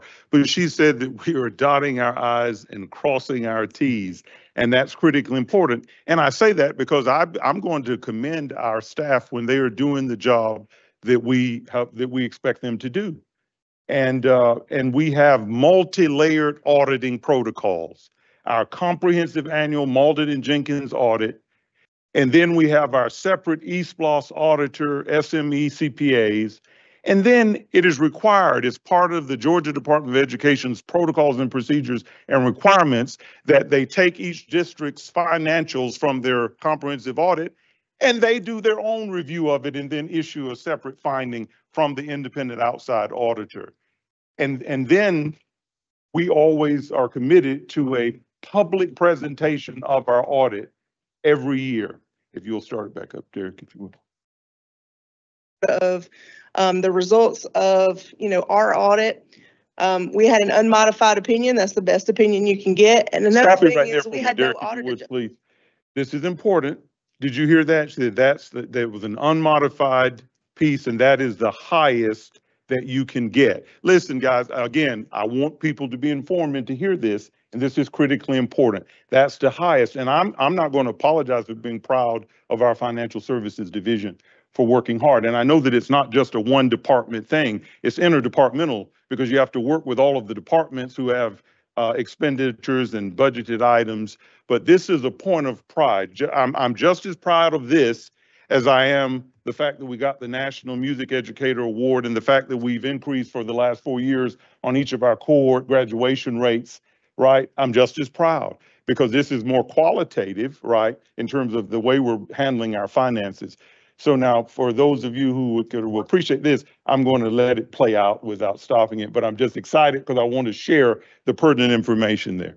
So an audit adjustments is when you all close the books, we come in and look at it and we might say, oh, this is not quite right. We need to adjust something before we present the financial information in the financial statements. We don't have any of that here. And this is one of the few places that we go that we don't have audit adjustments. I mean, we're all human. And so it's real easy for us to come in and say, oh, this isn't quite right, but we don't have that with you all. So again, I just want to congratulate the board, the superintendent and the finance team on what a great job that you all do. It makes our jobs really easy. So. thank course, uh, And with that, I'll be glad to entertain any questions. And that's always a Did I part of say what I was audit. supposed to, Keith? Always part of our audit. we have any there were questions no from the board? questions Posed at time. We did. the Well, I would like to say G W O D J O B.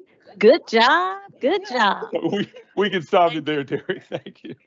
Appreciate it. Well, listen, I mean, we'll, Madam Chairwoman, that's all I have for the superintendent's remarks. Well, all right then. Lot of good news to share. Yes, it is. Yes, it is.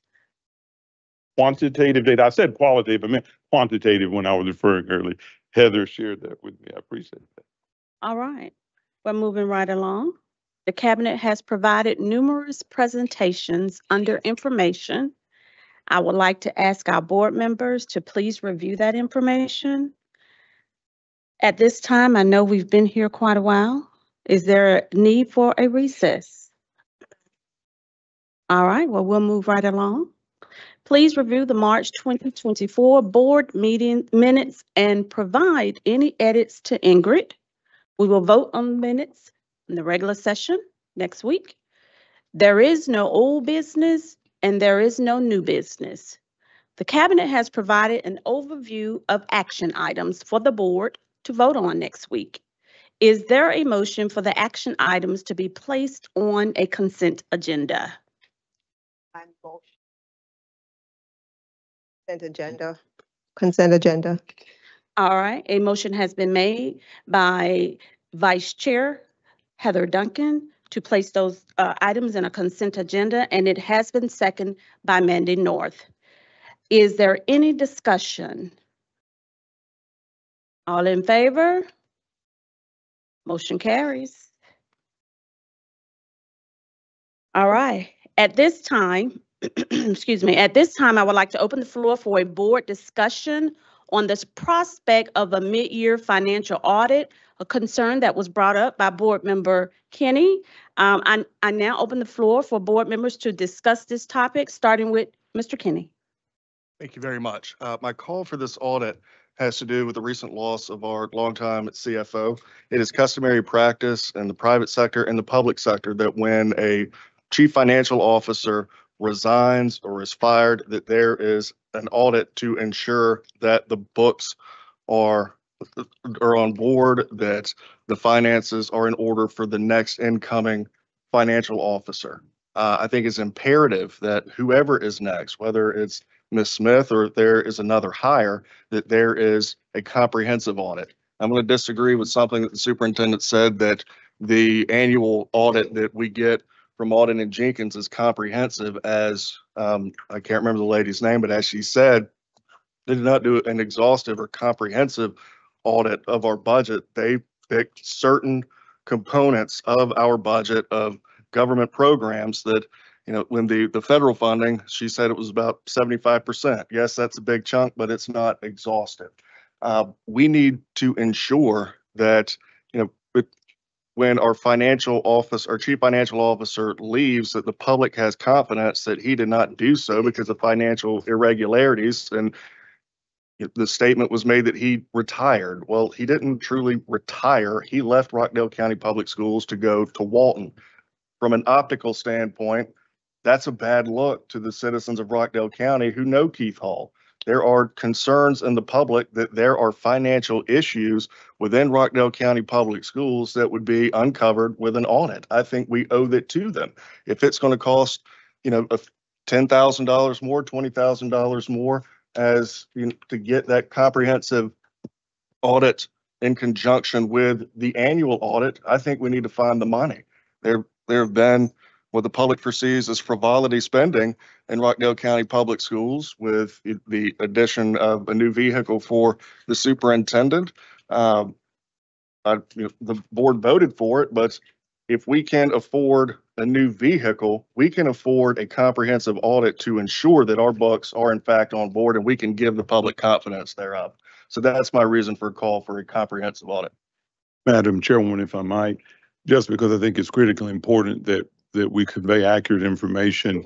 Uh, Former CFO Keith Hull retired from Rockdale County Public Schools. And um, And it was not abrupt. and it was not abrupt. Um, Our normal HR no- uh, reporting protocols are, are in place for any retirement. I actually emailed that information to the board and also we engaged in another forum, not public forum, as is proper for personnel discussions in which I shared even more important detail. It gets down to the nuance of different districts and different retirement systems, right? There are a number of people who retire from one system and they go and work in another system because it's a different retirement system. And they draw their retirement income from the system they've left and they earn their new income from the, so it is factually incorrect that Mr. Hull did not retire. The other thing I, I would share is that uh, when you said that it's standard practice to have an audit when there, when the, uh, when there's a departure of a CFO before another one comes in. Well, we have an interim CFO who's been the Director of Financial Services, working right, hand in glove with, uh, with Mr. Hall. And she will serve in that role for the remainder of this current fiscal year. And then we will set about to look at in the new fiscal year, we'll lay out plans of action for recruiting for full-time. And obviously, she may apply if she wishes to, just like anyone else who may be interested in that vacancy. Um, and also, again, I, and, and as the chief executive officer and the treasurer to the board, I think a- an audit at this point, uh, before the conclusion of the, of the fiscal year would be fiscally irresponsible, uh, in terms of the cost. It would just be irresponsible because I shared that there are, there are no funds currently budgeted for an audit because the audit occurs in the fall after the end of the fiscal year. And so it's paid for out of the new budget, which we've not yet, uh, we've not yet developed. And so an audit now would, would be, uh, on, would be on funds that are not budgeted for. And again, the information that I shared in my remarks clearly shows that there are multiple layers of auditing. And the, and, and I know that uh, Chairwoman North, uh, former Chairwoman North can mention that the process for auditing is where you take a piece of, that's the protocol that's established. In fact, in her presentation, she cited the controlling authority for the way that you do audits. And so this would be fiscally irresponsible. It's not budgeted for. We're five months out from our next comprehensive Mauldin and Jenkins audit.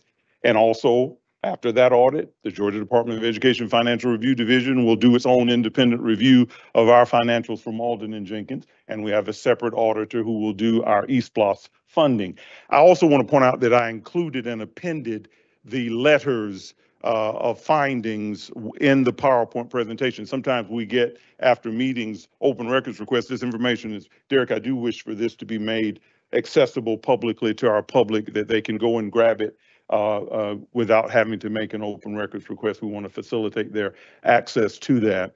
But that's just my respectful response, uh, Justin. In my respectful response, if we're going to be factually accurate, I did not call for mid-year. I'd called for a comprehensive audit in conjunction with the one that's going to occur at the end of the year. And we can, we can argue over semantics of the word abrupt, but when the board is told, at least the first I'd heard that Mr. Holt was going to be retiring was an article in the Walton County Tribune, and I was told the next day as a board member that Mr. Holt was going to be retiring, and his last, uh, his last report to the board was the following meeting, and then he retired March thirty-first. So by my definition of abrupt, I think it was abrupt. If you disagree, that is your respectful opinion. But given how the transfer of Mr. Hull out of Rockdale County to Walton County took place, think to instill public confidence, we take on the additional expenditure and get a comprehensive audit. At this time, we're going to take other comments from other board members. If any other board members want to make any comments, please do so. I would Sandra like to- Jackson Let, Yes. I support- we're going to come down the line. Sandra Jackson Let,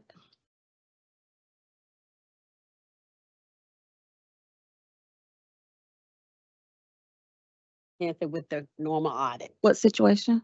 Hmm? I'm sorry, we can't hear you. Can you speak up just a But moment? my throat is bothering me. Oh, okay. Do, do you want to say it so everybody can hear you? What I said was I agree with Justin in everything that he said. And everything he said, okay. Duncan?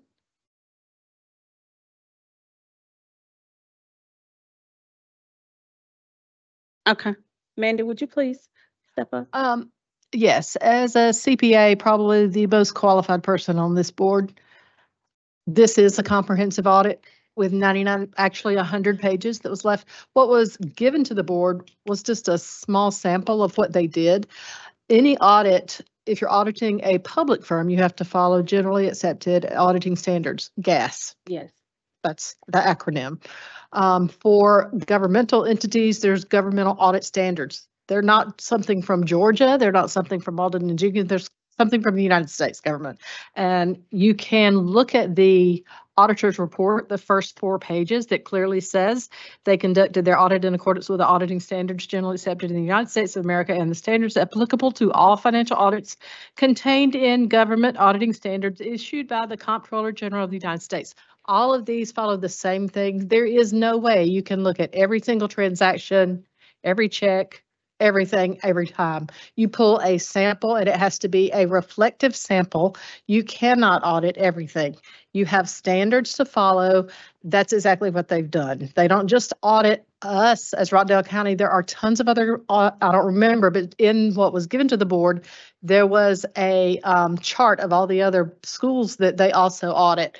I um, remember interviewing with Mauldin, Mauldin Jenkins when I was getting out of college, so I know this firm has been around for years. I'm not sure exactly when the firm started, but it's been around at least 35 years. I totally value their opinions, and I know um, I have not read 100 pages of this, but I know should you guys read it, that you feel like it, you're asking for a comprehensive audit, that's exactly what we have. That's exactly what will occur again after the end of this school year on our books that close on June 30th of this school year. And it takes a while to do the audit. That's why we don't get the reports and the presentation to the board until February. Um, the management letter on this is dated December 22nd, 2023. So it's not of my opinion to have another audit because we're going to do it. It's the same thing. It's just a waste of money when there's no findings. Now, I agree that we have our work to do because we're going to have to really look at our budget, but they don't audit budgets. They audit your financials, how you have coded your transactions. Now, yes, we've got a lot of work to do. We've got a lot of mandated increases in our health insurance costs. But I would say there's no one here other than me that understands our financials that's on this board and how budgeting works, how financials work, how audits work. I would not agree to pay for another exhaustive audit when that's exactly what we have and we have another one. And we've had no findings. It's been a clear audit. We've been praised for our financial work. I have had relationships with our previous CFO prior to Keith and with Keith, and I know he did an outstanding job. I value the work he did. He was transparent, unlike what we had had previously.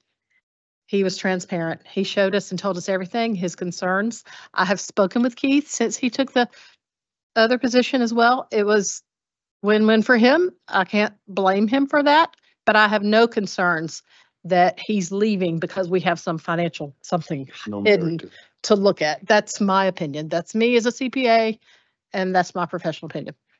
Thank you, Ms. North. Heather? I wanted Mandy to go first because while I don't do um, audits on that level, I do audits for, um, I was trained by William Mann, who has passed away now, and I have done it for DeKalb County, Rockdale County, and um, Newton County under the guise of my position as Assistant District Director for, um, for the Georgia PTA, one of the oldest advocacy groups in the world, right? And um, like you said, Mandy, 100-page report, it is comprehensive. We asked Hope to give us a um, a summary of what it says. She has explained to us the processes. She has explained to us that she dots her i's, cross her t's, and that she commends us for doing the same. We have a reputable company, organization that's taking care of it, and there is no need for an audit when we have until June 30th, in two months, to turn our books over. And that's just my take. Thank you. Ms. Palmer?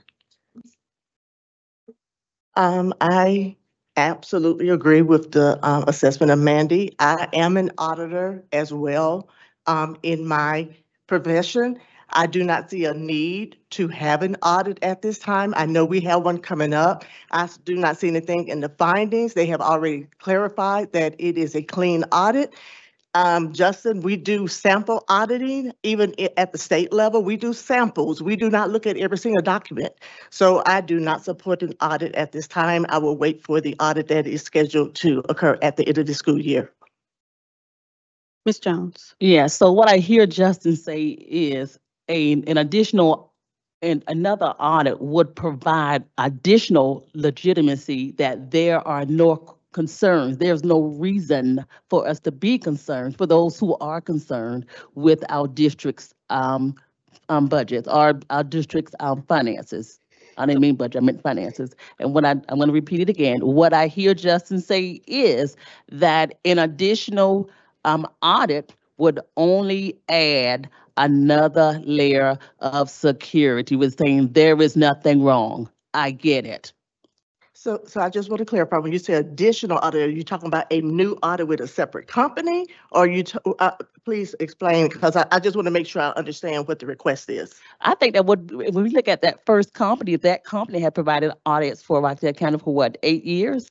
I mean, yes, I, I don't see, and I think it would be um, best to have it done by addition, a different company instead of the same company that has done it year after year. I think so. Only thing he's saying is that right now I'm he's feeling a little bit iffy about um about the with the about the district's finances um losing Keith. That's all he's saying. Let's make sure before the next person takes over, there are no issues or there are no concerns. That's what I hear, and I agree with Justin. And before another CFO is named full-time CFO, there will be an audit. Right. And it will be our audit of fiscal year twenty-four. So at this time, will we take a vote or?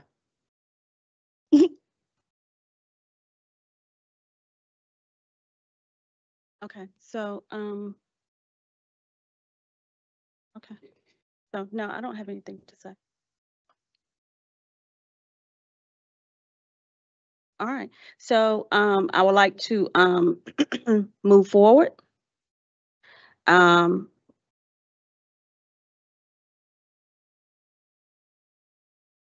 Do I hear a motion to conclude the, um, meeting? So moved. Nobody, nobody made a motion. So why don't I make a motion for, what I'm gonna do for that, nobody made the motion. So I'm moving forward. So if you're gonna make a motion, make one. At this time, there is no motion.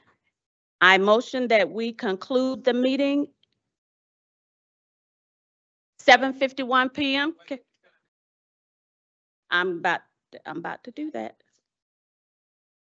Motion has been made by Heather Duncan, second by Ma- Mandy North. All in favor? Motion carries. Seven fifty-one, the meeting is over.